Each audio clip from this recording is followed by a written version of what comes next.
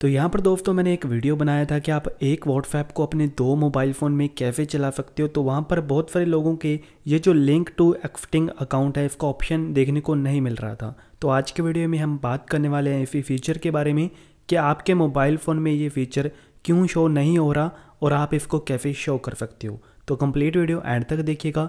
आपको यहाँ पर मैं स्टेप बाय स्टेप फार कुछ बताने वाला हूँ। और उसके पहले अगर आप मेरे चैनल पर पहली बार आए तो चैनल को प्लीज़ सब्सक्राइब कर दीजिएगा और साथ में बने बेलाइकन को भी ज़रूर प्रेस कर दीजिएगा ताकि मैं कोई भी वीडियो अपलोड करूँ तो उसका नोटिफिकेशन आपको तुरंत मिल जाएगा।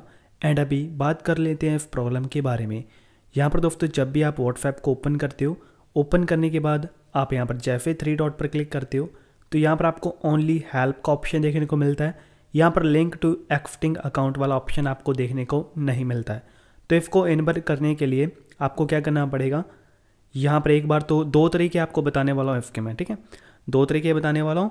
पहले तो आपको प्ले स्टोर में चले जाना है एंड यहाँ पर आपको जो है सर्च बॉक्स में टाइप कर देना है टू एड अकाउंट इसका लिंक आपको वीडियो के डिस्क्रिप्शन में भी मैं प्रोवाइड कर दूँगा।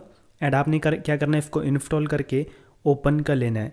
ओपन करने के बाद दोस्तों आप यहाँ पर जैसे क्लिक करोगे व्हाट्सएप पर तो आपके पास ये वाला इंटरफेस आ जाएगा। अभी दोस्तों, एक तो ये हो जाएगा आपका तरीका जिसके कारण इस प्रॉब्लम का सोल्यूशन आपका हो जाएगा। क्योंकि दोस्तों आपको ये जो है ऐप को अपडेट करना पड़ेगा। क्योंकि ये पुराने वर्जन वाला व्हाट्सएप आपके फ़ोन में चल रहा होगा तो उसके कारण ये प्रॉब्लम आ रहा है असल में।